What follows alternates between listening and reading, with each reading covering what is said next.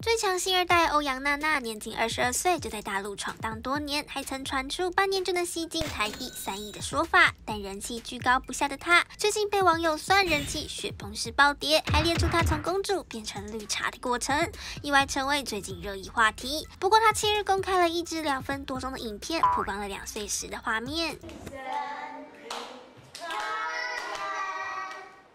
我的名字叫娜娜。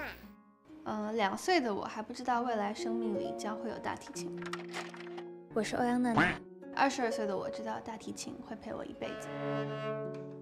画面中，他透露了自己的生活态度，表示拉琴是他会一直做下去的事，也鼓励大家做自己喜欢的事。